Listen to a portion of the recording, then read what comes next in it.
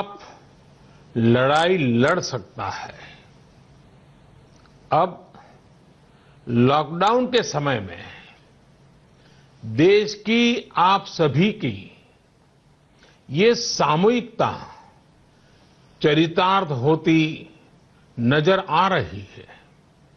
साथियों, आज जब देश के करोड़ों लोग घरों में हैं तब किसी को भी लग सकता है कि वो अकेला क्या करेगा।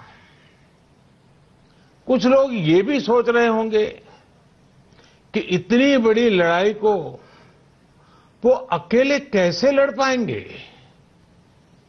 ये प्रश्न भी मन में आते होंगे कि कितने दिन ऐसे और काटने पड़ेंगे। साथियों ये लॉकडाउन का समय ज़रूर है। हम अपने अपने घरों में ज़रूर है, लेकिन हम में से कोई अकेला नहीं है। 130 करोड़ देशवासियों की सामूहिक शक्ति हर व्यक्ति के साथ है, हर व्यक्ति का संबल है। समय समय पर देशवासियों की इस सामूहिक शक्ति की विराटता, इसकी भव्यता और इसकी दिव्यता की अनुभूति करना आवश्यक है। साथियों, हमारे यहाँ माना जाता है कि जनता जनार्दन ईश्वर का ही रूप होती है।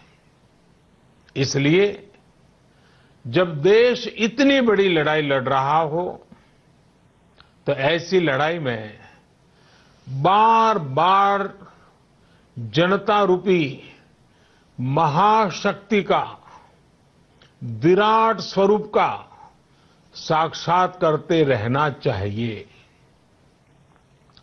ये साक्षात्कार हमें मनोबल देता है लक्ष्य देता है और उसकी प्राप्ति के लिए ऊर्जा भी देता है।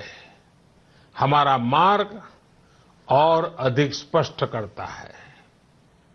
साथियों, कोरोना महामारी से फैले अंधकार के बीच हमें निरंतर प्रकाश की ओर जाना है।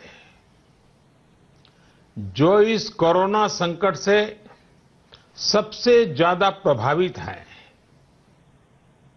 हमारे गरीब भाई बहन, उन्हें कोरोना संकट से पैदा हुई निराशा से आशा की तरफ़ ले जाना है। इस कोरोना संकट से जो अंधकार और अनिश्चितता पैदा हुई है उसे समाप्त करके हमें उजाले और निश्चितता की तरफ़ बढ़ना है। इस अंधकारमय कोरोना संकट को पराजित करने के लिए हमें प्रकाश के तेज को चारों दिशाओं में फैलाना है। और इसलिए इस संडे पाँच अप्रैल को हम सबको मिलकर कोरोना के संकट के अंधकार को चुनौती देनी है। उसे प्रकाश की ताकत का परिचय कराना है। इस